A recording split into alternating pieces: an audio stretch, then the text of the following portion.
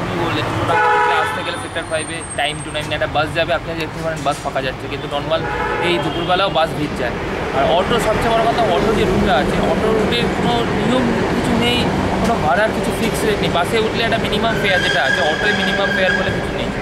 শেষ পর্যন্ত অফিস টাইমে যে যার মতো ডর হাঁটছে যে যার মতো রেট অটোয় কি বলে যে উঠলে উঠুন না উঠলে চলে যান এরকম কিছু? সেরকমই তো মানে ফিক্সড কিছু নেই উঠতেই হবে। মানে যখন শর্ট যে জার্নি করবে উল্টোডাঙ্গা থেকে সেক্টর ফাইভ এইটুকু জানি কিন্তু মিডিলে যে প্যাসেঞ্জারকে অটো তুলতে চায় না তুললে ভাড়া নেই। সাপোর্ট এখান থেকে পিএনবি মোড় থেকে উল্টো টাকা অব্দি ভাড়া অটোর একটা ভাড়া হচ্ছে ছ টাকা। কিন্তু আসার সময় নেবে দশ টাকা। কারণটা ইউনিয়ন কী করছে যাতায়াতের যে ব্যবস্থাটা উল্টোডোঙা থেকে সল্টলেকে ইন করার ব্যবস্থাটা সেরকম পারফেক্ট হয়নি। আরও পাঁচ বছর আরও লোক ঢুকবে আর সেকেন্ড কথা হচ্ছে পুলিশ প্রশাসনের ব্যবস্থা উল্টো উল্টোডাঙ্গা অনেক খারাপ।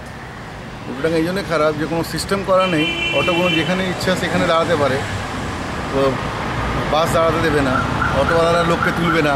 প্রবলেমে তো পাবলিক পড়ছে না, যে কোথা থেকে বাসে উঠবে, কোথা থেকে অটোতে উঠবে। অটো দাঁড়ালে, অটোওয়ালা দাঁড়াতে চাইছে না যে পুলিশ ধরবে, বাস দাঁড়াতে চাইছে না, পুলিশ ধরবে। কিন্তু ব্যবস্থা করা উচিত যে হ্যাঁ এটা স্ট্যান্ড আছে, এখান থেকে লোক উঠতে পারে। সেই স্ট্যান্ডের ব্যবস্থা নেই, এমনি পুলিশ ব্যবস্থা আছে।